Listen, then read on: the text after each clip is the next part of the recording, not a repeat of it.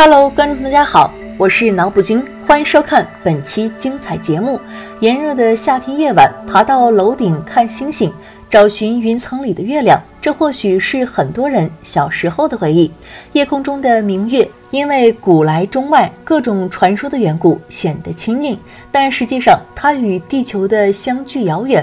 人类对它的探索和研究从来未曾停止过。近日，天文学界发表了一项关于月球的新研究成果，指出在地球人眼中似乎亘古不变的月球，其实正在经历冷却收缩。那么，这究竟是怎么回事儿？冷却收缩时会发生什么？月球会变小吗？会造成什么影响？根据美国国家航空航天局的月球勘测轨道器拍摄的照片，随着时间的推移，月球正在缓慢收缩，这导致月球的地壳产生了皱纹以及月震。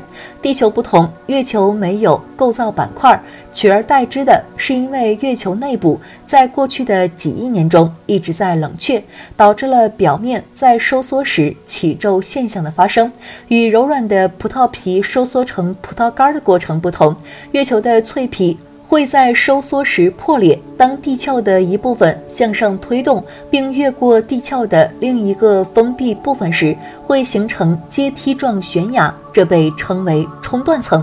现在已经有成千上万的悬崖遍布在月球表面，平均有数英里长，几十码高。自2009年以来，该轨道器已经拍摄了多达3500多张照片。1972年，阿波罗17号宇航员尤金·塞尔南和哈里森。施密特必须通过将月球车弯成之字形来登上这些悬崖之一，即里林肯断崖。研究表明，和地球一样，月球在地质构造上仍然很活跃。在我们的地球产生地震的同时，月球也会产生月球地震。之所以发生这些月球地震，可能是因为月球正在经历冷却收缩，在收缩的同时还在颤抖。地球上的地质构造活动，诸如地震和火山活动等，都是由地球内部熔融物质搅动所驱动的地壳构造板块移动所形成的。然而，月球比地球要小得多，因此，此前人们通常认为月球在很久以前就已经在很大程度上冷却下来了，所以月球可能不会有太多的地质构造活动。前提是如果有的话。然而，来自2010年美国宇航局月球勘测轨道飞行器的高分辨率图像显示，月球上有一个由数千个断层组成的网络，并且这些断层的年龄似乎不到五千万年。研究人员虽然并不知道月球的地质活动持续到有多晚，但他们认为这些断层是月球存在的地质活动的证据。这些断层被称为陡坡，从月球表面上看，就像小阶梯状的悬崖。当月球内部冷却和收缩时，月球外壳的一个部分被推到相邻的部分上，由此形成了陡坡。新的研究表明，这些断层可能仍然活跃。该研究的科学家们分析了宇航员在阿波罗时代登陆月球表面的仪器数据，以及美国宇航局月球勘测轨道器收集的最新数据。阿波罗十一号、十二号、十四号、十五号和十六号机组人员在月球表面共放置了五个地震仪，这些仪器成功地发现了1969年至1977年间的28次月球地震。这些月震可能是由构造断层的摩擦引起的。震级在里氏一点五至五级之间。从理论上来说，其中的一些浅层地震可能是由月球断层活动造成的。而不是小行星撞击所致，而这些地震的震源位置和深度并不清楚。研究人员说，这意味着阿波罗地震仪记录了月球的收缩，并且将对阿波罗地震仪数据的研究以及对超过一万两千张人造卫星照片的分析发表在了《自然地球科学周一》的杂志上。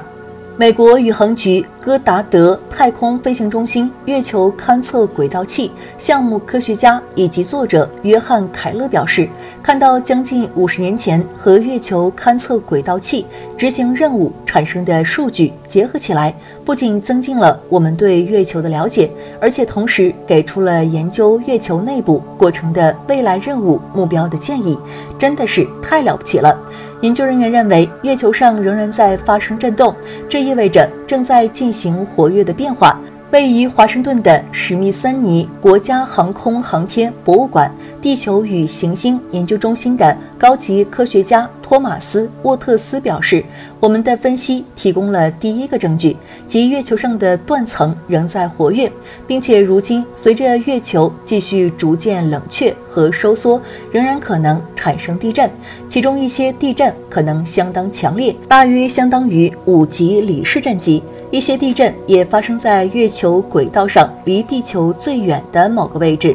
这个现象表明了，由于地球引力产生的潮汐应力可能导致了月球地壳的应力。研究作者兼马里兰大学地质学助理教授尼古拉斯·施莫尔设计了重新分析阿波罗数据的算法，并且在一份声明中说：“除了地球以外。”通常不会在其他地方看到如此活跃的构造，认为这些断层可能仍会产生地震是一件多么兴奋的事情。研究人员在明亮的斑块底部的滑坡和巨石轨道照片中注意到了其他证据，这表明了发生的活动。随着时间的流逝，月球表面会由于风化和辐射变暗，所以亮点是暴露在月球表面上活动的区域。施莫尔说。对我来讲，这些发现强调了我们重返月球的必要性。我们从阿波罗任务中学到了很多，但实际上，这些任务在月球上进行的只是划抓表面。通过更大的现代地震仪网络，我们可以在对月球地质学的理解上迈出巨大一步。这为未来的登月任务科学上了提供一些非常有希望的。唾手可及的成果。美国宇航局马歇尔太空飞行中心的行星地震学家以及研究合著者雷尼·韦伯表示。在月球表面建立一个新的地震仪网络，应该是人类探索月球优先要做的事情。这种做法既可以帮助我们了解月球内部的更多信息，也可以确定危险地震存在的数量。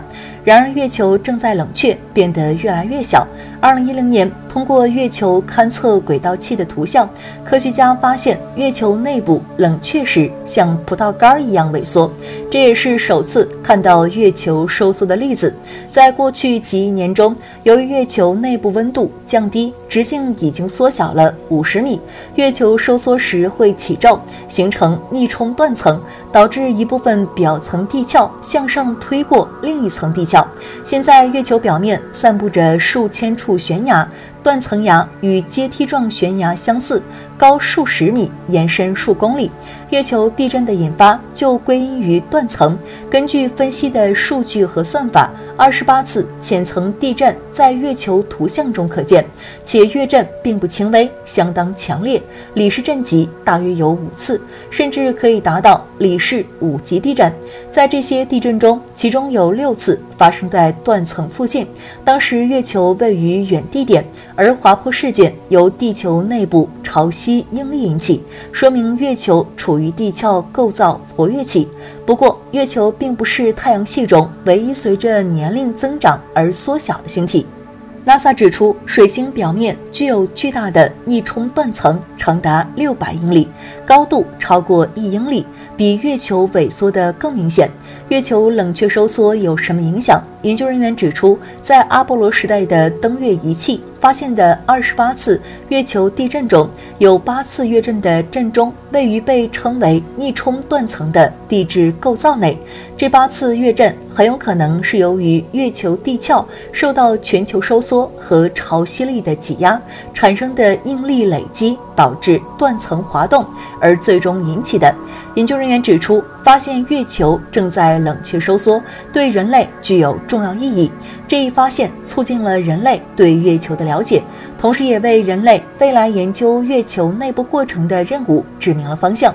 同样，科学家指出，阿波罗时代收集的地震数据有助于人类确认月球今天很可能仍然处于地质构造活跃状态，而前月震的位置和时间与已知的年轻断层之间的联系，进一步证明我们的月球是一个活跃的世界。